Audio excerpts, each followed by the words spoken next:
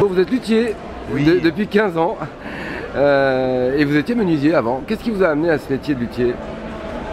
Eh ben, bon, le, le- le goût de, de- de la musique. Hein, J'étais euh, musicien amateur Oui. avant et, euh, et menuisier, donc je pratiquais le, le travail du bois. Donc euh, bah, c'est c'est de réunir les deux. hein, de- Alors vous, êtes passé par un apprentissage Comment s'est passé euh, Non, mais il faut savoir que dans, ce- dans cette profession, il y a 98% d'autodidactes. C'est vrai Ah oui Uniquement parce qu'on n'a pas d'histoire et on n'a pas de formation euh, diplômante là-dedans. Donc euh, s'il n'y a pas de formation, ben, il n'y a pas de, de diplôme, donc euh, les gens apprennent un peu comme ça. Alors vous êtes perdu dans un petit village, c'est ça Je suis dans un petit village en Ardèche, En mais pour, Ardèche, ouais. pour, exercer ce métier tel que je le pratique et tel qu'on est euh, quelques-uns à le pratiquer, à savoir de la fabrication uniquement, euh, la position géographique n'est pas très importante. Ce qu'on va vendre euh, un peu partout en Europe, en France et en Europe et même un peu plus loin. Oui. Voilà. Par contre, le, le- le choix de, de s'installer en ville, ça veut dire faire beaucoup de réparations, c'est euh, donc c'est autre chose. C'est Oui, moins vous faites de la fabrication, vous faites pas de la... moi, faites- voilà, ouais, je ouais, fais de la fabrication et de la création. hein. Je dessine mes, mes instruments. Je m'inspire d'instruments existants pour, euh, pour avoir un, un petit côté, euh, un petit côté style, quoi, pour, euh, d'une musique à l'autre. Mais je dessine quand même mes instruments. Et puis c'est l'avantage aussi d'être- d'avoir une certaine qualité de vie, d'être comme ça dans un petit village en Ardèche. voilà. Ah bah oui, oui, bien sûr. euh. Alors vous pouvez nous en parler de vos instruments justement? Alors par exemple, euh, donc là, euh, sur, sur ce salon, je travaille sur, sur du médiéval. Oui. Donc j'ai amené des instruments que je propose pour ça. Donc cet instrument par exemple, euh, qui est une vielle à manche, Oui. euh, on en a des traces euh, 10, 11, 12e. Euh, c'est un instrument qui va, euh, qui va pas rester très longtemps de- dans, dans l'histoire des instruments parce qu'il va être remplacé par, euh, par la vielle à roue telle qu'on la connaît aujourd'hui, l'organistrum ou- Oui. ou la vielle à roue. Parce que cet instrument-là a peu de, de capacité. On va jouer pratiquement sur une octave au maximum. Mais là, je le fais tourner. Donc il y a trois cordes qui se mettent à, à jouer en même temps. Oui. Il y a des cordes sympathiques. Et l'utilisation la plus courante de cet instrument-là, c'est pour porter le chant. D'accord. Donc, euh, Alors on l'utilise comment Donc on fait tourner. euh, alors, on, ouais. on- on a, c'est un archer continu, donc c'est, euh, c'est, c'est une roue hein, Ouais. qui va frotter des cordes. Et après, on va plaquer sur le manche des accords. D'accord.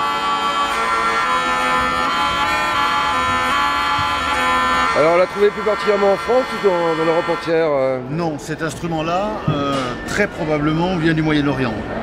On, on- D'accord. on en voit la, la trace la première fois euh, 10-11e, c'est-à-dire au retour des premières croisades.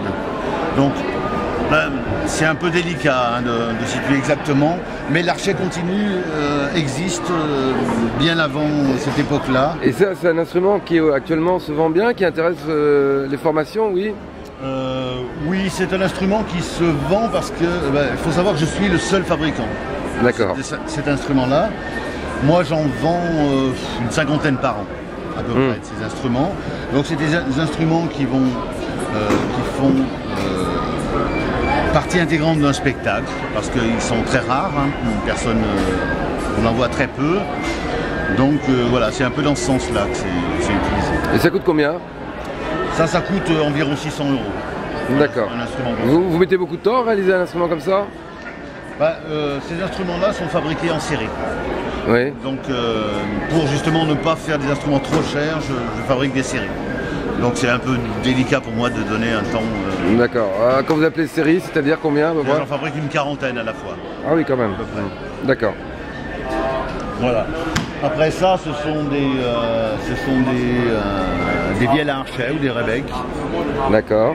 Donc le- la dénomination des instruments est, est assez précise selon les, euh, les époques et les, euh, et les matériaux utilisés.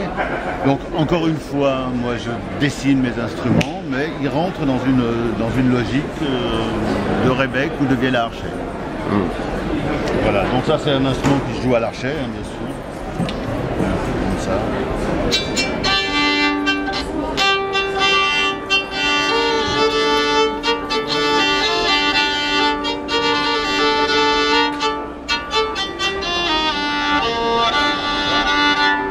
Par rapport au violon, Par rapport au violon, ça, ça, ça, ça serait euh, l'équivalent d'un violon alto. d'accord. C'est la longueur vibrante d'un violon alto. Et pour le. Et celui-là serait l'équivalent d'un violon. Le- ces équivalences sont liées à la longueur vibrante uniquement. Hmm. Donc tous ces instruments-là peuvent être montés avec des, des cordes en boyau, qui, euh, ce qui implique d'avoir un son un peu plus feutré, un peu plus euh, caractéristique de- des instruments de cette, époque-là. Et c'est assez répandu, ça, cette utilisation de cet instrument-là, Oui, ou oui. c'est reste marginal, non? Très, non, non, c'est très répandu. Ah oui, d'accord. Mais ça encore une fois, il peut avoir de- des formes très très différentes. Hmm. Qu'est-ce qui vous inspire sur la forme, là, par exemple? Pourquoi avez-vous choisi cette forme? Bah, D'abord, je, je décide en fonction de la longueur que j'ai à vibrer, de la, de la- du confort du musicien, comment il doit le tenir euh, pour qu'il soit confortable. Il faut un dégagement de part et d'autre de cette partie pour l'archet, pour que l'archet puisse passer. Des, des, des ouïes pour que le son puisse s'échapper de l'instrument. Et voilà. Après, autour de ça, on peut, on peut dessiner un peu ce qu'on veut. Et c'est quel bois? Alors, on utilise là des conifères pour la table d'harmonie, mais c'est valable pratiquement pour tous les instruments à. D'accord. Et à l'arrière, ça c'est un érable moucheté. C'est un bois qui est assez joli, Hmm. donc il met en valeur un peu l'instrument. Ouais. Pareil, il faut compter combien à peu près pour un instrument comme ça À peu près 600 euros. 600 euros, d'accord. Là, il y a un instrument qui est, qui est particulier, là. C'est quoi celui-ci? Avec euh, deux manches, donc euh, ouais. Voilà, celui-là aussi c'est une vielle archet, Ouais. mais ce, ce deuxième manche-là porte des, euh, des cordes sympathiques. Donc on ne les touche pas, ces cordes, elles se mettent à vibrer uniquement avec, euh, Ah, avec celle-là.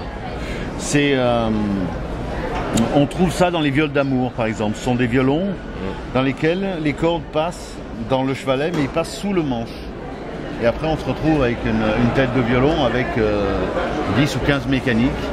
Mais en fait, le musicien va jouer sur 3 ou 4 cordes simplement. Mais ces cordes euh, sympathiques vont rajouter un écho naturel au,